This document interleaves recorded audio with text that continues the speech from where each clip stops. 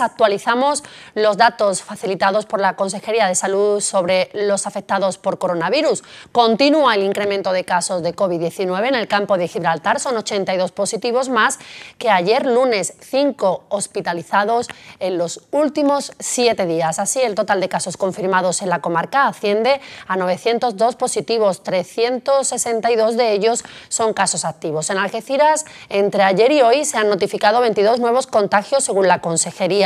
El total de confirmados se incrementa hasta los 392 positivos, 99 activos en la ciudad.